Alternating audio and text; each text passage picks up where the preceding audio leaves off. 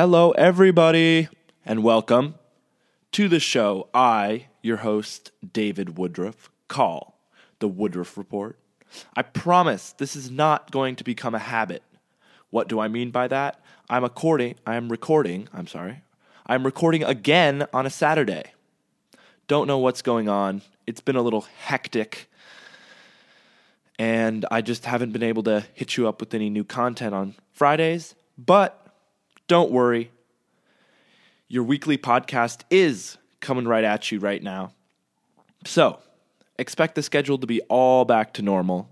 The podcast is not moving to Saturday. There have just been a couple fluke weeks that have happened to show up back to back. So, this this is a first for the Woodruff Report. This week's podcast.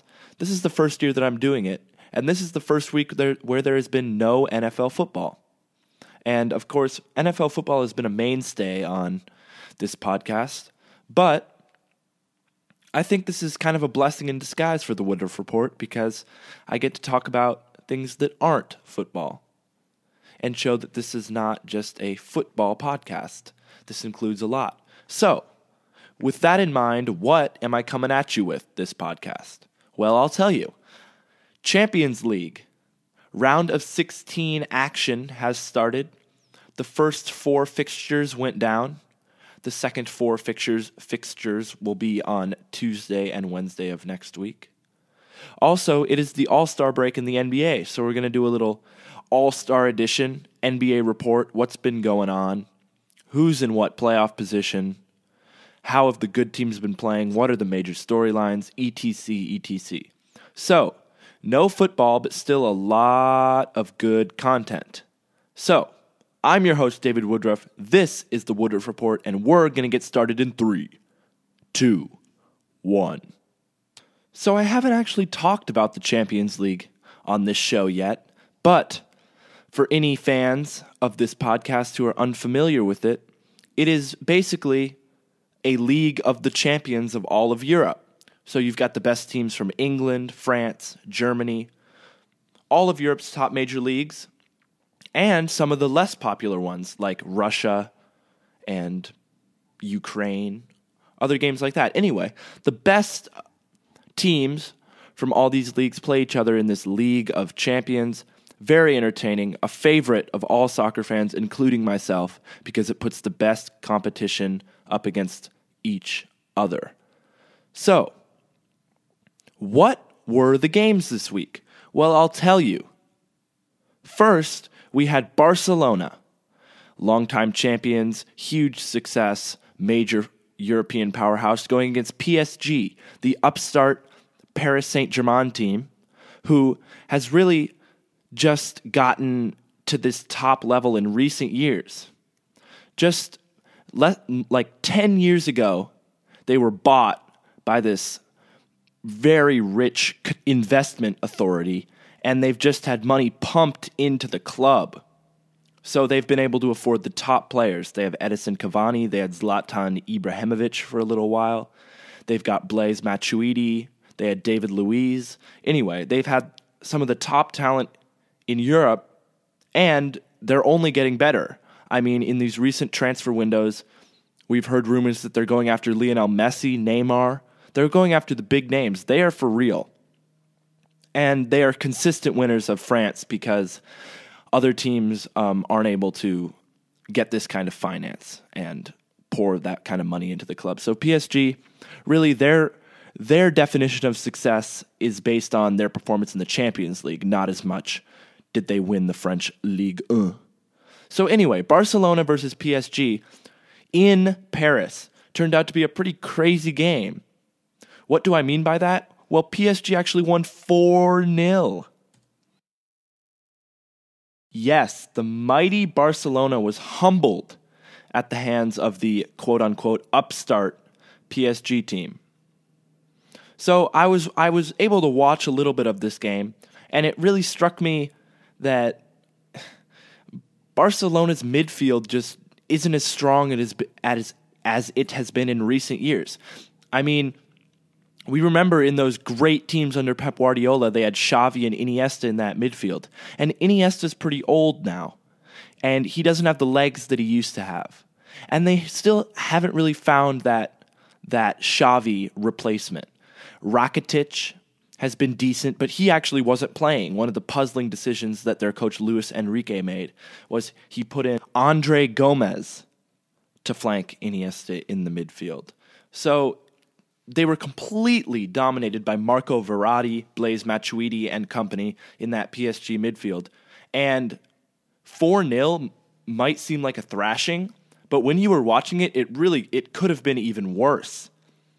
So, absolutely incredible win for PSG. They look almost certain to qualify unless there's an absolute meltdown of epic epic proportions in their second round game, which is in Barcelona and of course, I've learned through the years that you can never count Barcelona out. There was a chance late in the game for Barcelona to get a precious away goal. Away goals, I um, I don't really have time to explain the whole away goal thing that happens in the Champions League game, so I suggest just looking up um, away goal rules Champions League if you want to learn a little bit more. So anyway, um, PSG looked certain to qualify, but Barcelona had a chance late in the game to make it 4-1 off a corner kick. Piqué headed it back across and set across, and Samuel Umtiti hit the crossbar slash post area. The post where the crossbar meshes with the post from like a yard away. An absolute howler. And it really, I think that was the final nail in the coffin of Barcelona. So this is going to be their earliest exit in a while, round of 16, if results hold and if results pan out as they are expected to. In other games, we'll stick in Spain with other Spanish giants, Real Madrid, as Napoli visited the Santiago Bernabeu. Real Madrid saw them off 3 1 in what was a thrilling game. Napoli scored first securing a precious away goal as a through ball was played through, and Napoli's Lorenzo Insigne hit an absolutely brilliant curling strike as he saw uh, Real Madrid keeper Keylor Navas off his line, curling it in from about 35 yards out. Absolutely incredible goal.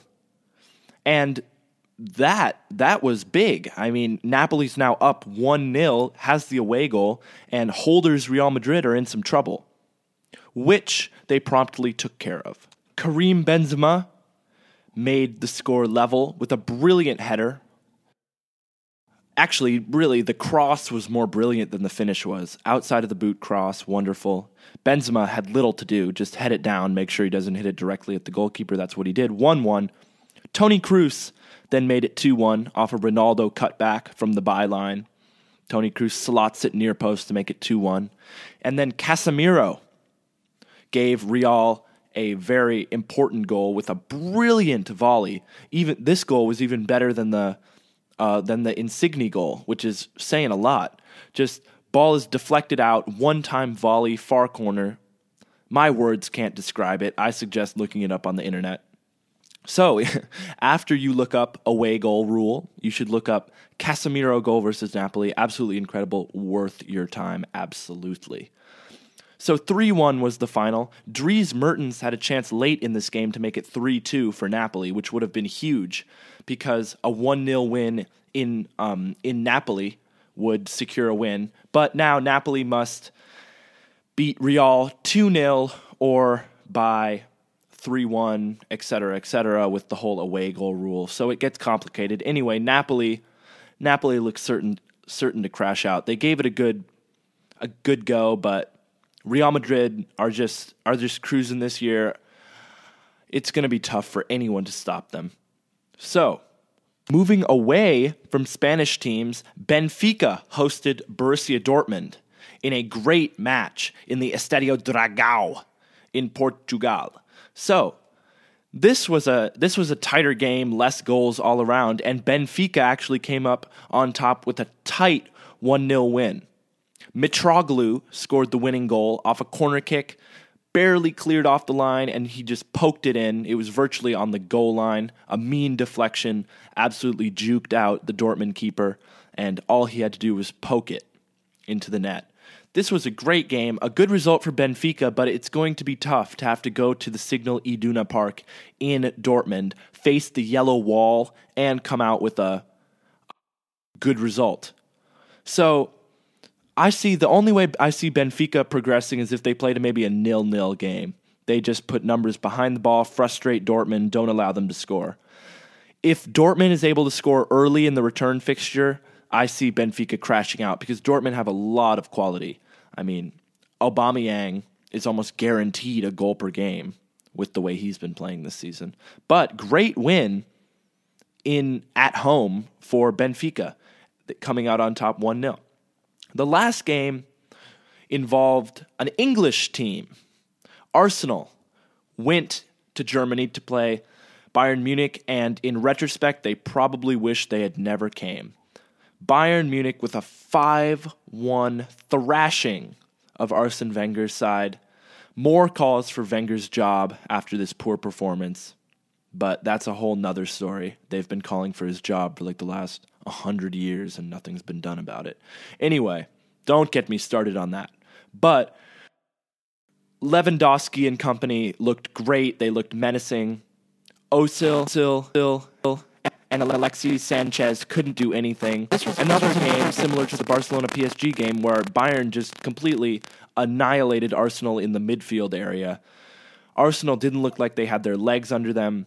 Their midfield wasn't able to press, wasn't able to stay with. Arjen Robben scored very early in this game, a brilliant curling effort. He cut in on his favorite left foot and hit a beautiful curler into the top corner, nothing Ospina could do. The score was actually leveled when Alexis Sanchez converted a um, converted a penalty won by Laurent Koscielny after it was kind of a weird penalty.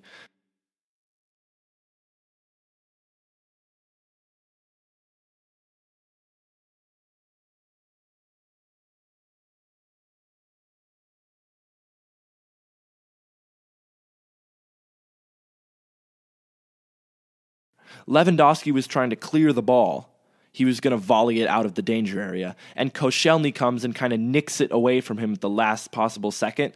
And Lewandowski, his foot that was going to hit the ball hits Koscielny's foot, and Koscielny goes flying on the ground, acting like he just got shot. Referee points to the spot.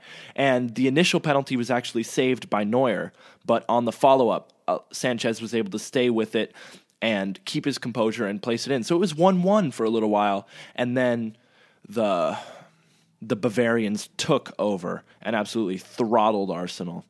Another another point to add to the whole English teams never do well in the Champions League thing, and another argument to put against the uh, uh, Premier League is the best league in the world. How can you say that when its best teams are getting throttled by other teams? But that's also another story. I keep trying to do other stories for some reason. But anyway, what I'm trying to get to, Bayern Munich thrashed Arsenal 5 1 and also looks certain to go through.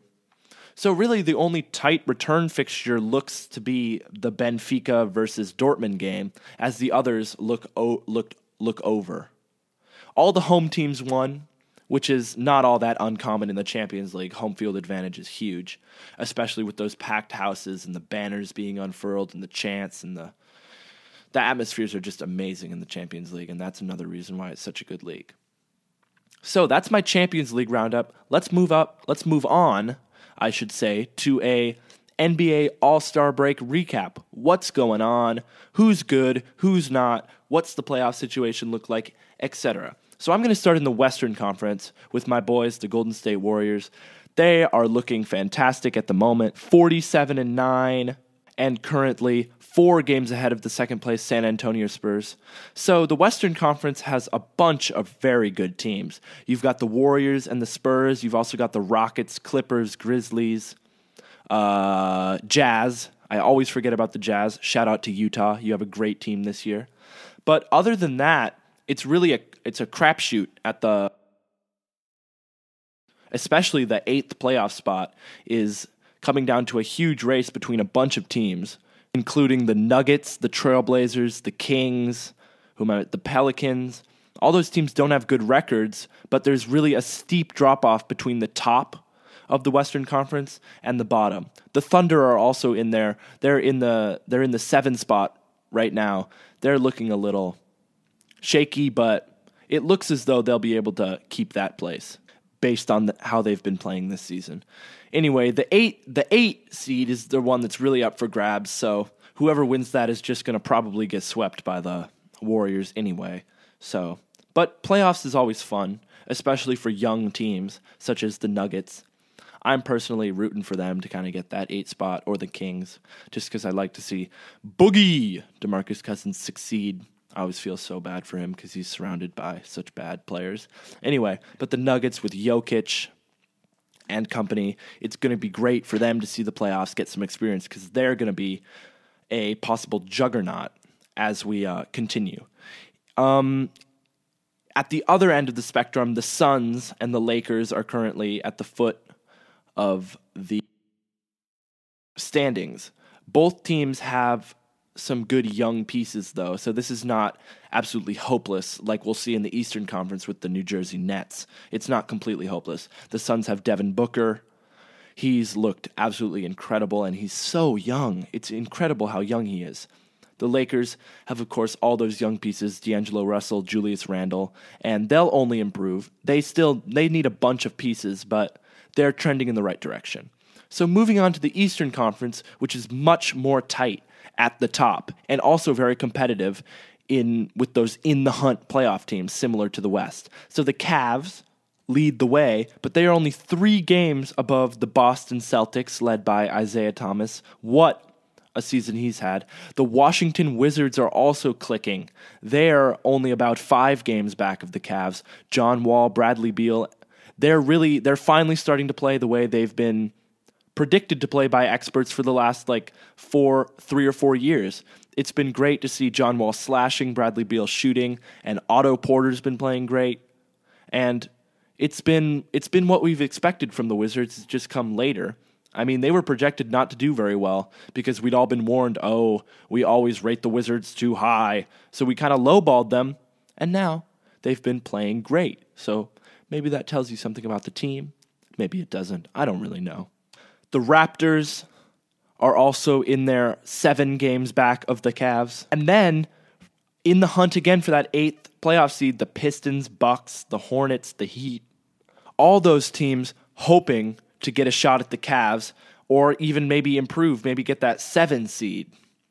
So it's it's going to be an interesting final final half of the season after the All Star break, just because there's not as much parity in the league as there's been before.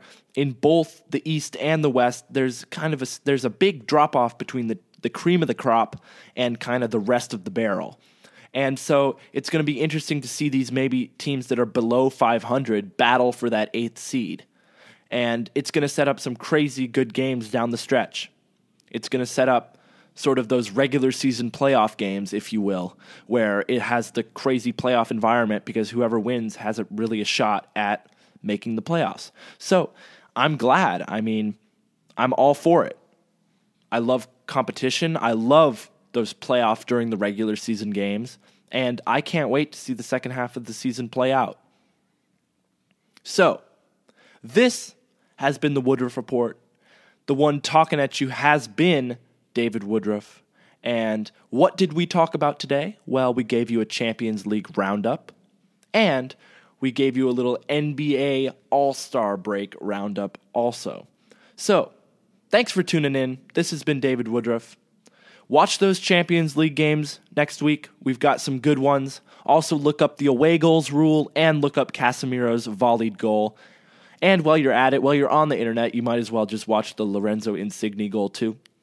This has been the Woodruff Report. This has been your host, David Woodruff. Thanks for tuning in. See you next time on Friday. On Friday, I promise. Actually, I don't really promise. I don't pinky promise, but I pretty much promise. Anyway, goodbye. Thanks for tuning in.